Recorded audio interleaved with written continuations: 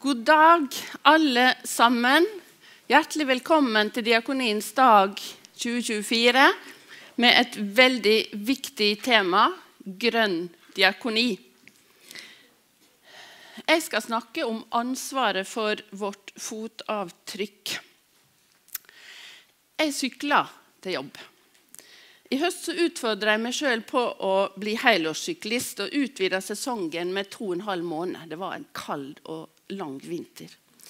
Men er det nok? Jeg har kvitta meg med bilen og gått for delebil. Jeg er heldig, jeg bor så nær T-banen at jeg kan bruke kollektivtrafikk hvis jeg ikke sykler. Er det nok? En gang i tida så lurte jeg på om jeg skulle bli gartner. Det var ikke det jeg ble, men det gir meg veldig masse glede å få det til å vokse og gro. Så jeg er parselldyrker. Ikke fordi plantekasser redder verden, men fordi at det bevisstgjør. Ehm, det bevisstgjør meg på hva jeg og min familie spiser, på hvordan maten blir dyrka, og ressursene det tar. Er det nok? Som dere hører, så prøver jeg å endre forbruket mitt mot mindre avtrykk. Kanskje noen vil tenke at det er sikkert bra. Kanskje andre vil tenke at det er lett for meg, fordi jeg er privilegert, bor der jeg bor, og har råd til å velge hva jeg fyller handlekurven min med. Om det er en plantebasert mat, og jeg blir fortsatt mett. Så når er nok nok? Jeg heter Ingunn Moser. Og jeg er administrerende direktør og forstander i stiftelsen Diakonhjemmet. Og det jeg gjør, er slett ikke nok. Eh, og det kan være mye moralisme, ubevisst eller bevisst, i å vise hva en sjøl gjør for å adressere en av vår tids største utfordringer. Men det er likevel viktig for meg å si at jeg også prøver å starte med meg sjøl og min hverdag. Men det er ikke nok. Jeg må f.eks. også jobbe institusjonelt. I Diakonhjemmet sin strategiplan står det at vår tids største utfordring er bærekraft i vid forstand. Og Som administrerende direktør så har jeg et spesielt ansvar for at alle virksomhetene innenfor Diakonhjemmet er med på å bidra til å oppfylle formålet vårt og til å realisere den strategien. Og Diakonhjemmet har som ambisjon å være en pådriver for bærekraft. Og vi arbeider systematisk vi gjør det, med å redusere fotavtrykket på det ytre miljøet, basert på miljøledelsessystem som heter sånne ting som ISO 14001, miljøfyrtårn og BRIM. Stiftelsen har de siste åra hatt veldig mye fokus på utviklinga av Diakonhjemmet hage, som er det utviklingsprosjektet som dere ser begynner å ta fatt ned på eiendommen. De nye byggene skal møte en av de to høyeste standardene definert av det som heter BRIM Nord for bygg, og det som gjelder for BRIM Communities for en helhetlig miljø- eller områdeutvikling og miljøbevisst områdeutvikling. Så har vi satt oss konkrete mål, sånn som mange har, for å redusere energiforbruk, endre transportvanene våre, f.eks. med å få flere av oss ansatte over på sykkel og gange, redusere avfallsmengde og øke sorteringsgrad. Så har vi også bygd en felles energisentral som erstatter faktisk allerede over 40% av energien til oppvarming med energi, altså nærvarme fra geobrønner, som det heter, og overskuddsvarme fra sykehuset på kjøling. Vi henter energi fra dypt ned bakken i geobrønner under parken vår til bygga rundt. Sykehuset vårt jobber med miljø og klima som M-en i HMS-arbeid. Og På handlingsplanen sin så har de miljømål som gjelder det å redusere avfallsmengde, øke kildesortering, gjennomføre grønne konferanser, altså digitale. Eh, og I tillegg så jobber de med det som er krevd av dem som eh, innenfor eh, nasjonale klima- og miljømål for spesialisthelsetjenestene, som de må rapportere på. Eh, også i VID vitenskapelig høgskole så jobber en med miljøledelse. Eh, Eh, og har som mål å kontinuerlig redusere alle lokale miljøpåvirkninger i samsvar med sånne overordna ledelsesmål. For så har vi da et miljøstipend som ansatte og studenter kan søke på hvis de kan reise på en miljøvennlig måte.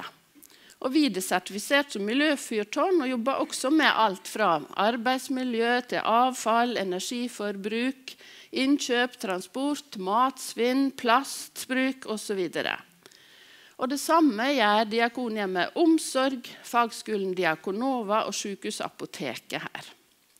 Så er det nok, da? Nei, nei og atter nei.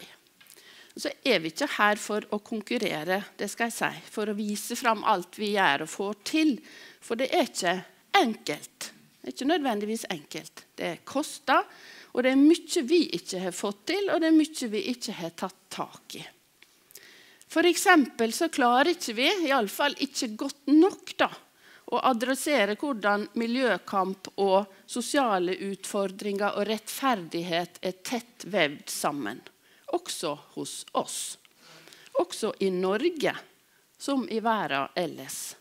Sånn som saka om menneskerettigheter knytta til reindrift og vindkraft i samiske områder har vist oss.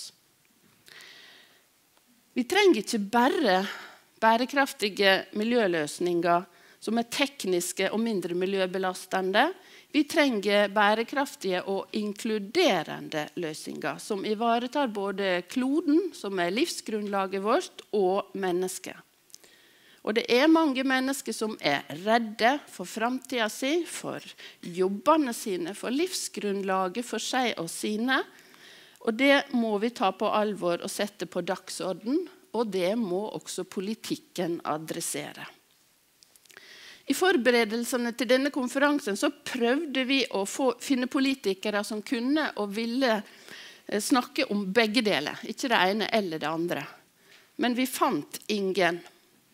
Så når politikere ikke er her til stede i dag, så må vi som institusjon og sammen med dere, våre samarbeidspartnere, vi må være med på å både støtte og forvente og kreve mer av politikken.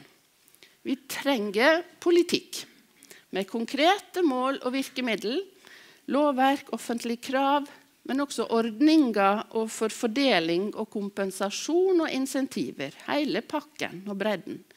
Og vi trenger en politikk som står ved de forpliktelsene vi har inngått knytta til bærekraftmål. Det må vi hjelpe politikere til, og det må vi ansvarliggjøre dem til. Så Derfor bestemte vi oss for å løfte dette temaet her i dag sammen med dere. Og sammen med dette diakonifaglige rådet som vi har på Diakonhjemmet. I Norge må vi minimum ta vår andel av jobben med klima- og bærekraftsmål. Vi som har mye må, og har store og tunge avtrykk, vi må også ta mer av belastninga enn de som har lite.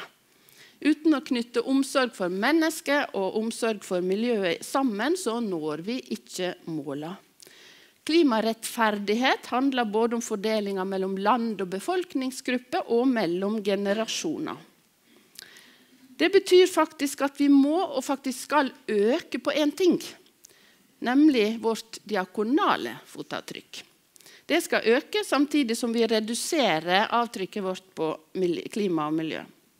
Så her i dag så ønsker vi å inspirere til, til eh, bærekraftige og inkluderende løsninger. Sammen så kan diakonien i menighetene, i institusjoner, i organisasjoner være en samfunnskraft som er med på å vise vei og, og støtte og, og, dra og, og pushe i retning av den. Eh, og bidra til inkludering. Kjempe for rettferdighet og verne om skaperverket. Og bidra til diakonien til bærekraft i vid forstand. Og diakoni er bærekraft i vid forstand.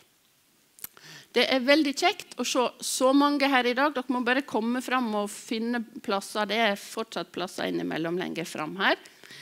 Det, jeg tar dette som et tegn på engasjement for dette temaet når vi er 275 deltakere her i dag, og det er egentlig ganske fullt. Og så er det også folk med digitalt i tillegg. Dere som er her i dag, er diakoner eller ansatte eller frivillige i menighetene og i organisasjoner i, rundt om i hele landet. Men dere er også engasjerte mennesker i helse-, klima- og miljøarbeid fra offentlig og privat sektor. Og mange er diakonistudenter ved MF og VID. Og I år så har vi til og med med oss ei gruppe eh, diakoner fra Göteborg. Yes! Hjertelig velkommen til Diakoniens dag til alle sammen. Takk for at dere slår ring om dette temaet som heter grønn diakoni. Så skal jeg bare si én ting først. Det er nemlig at Jeg håper det er ok at det blir tatt noen bilder som blir brukt på, på web og media senere i dag. Hvis noen ikke er komfortable med det, så må de komme og melde seg, så skal vi prøve å ta hensyn til det. Skal vi ta hensyn til det.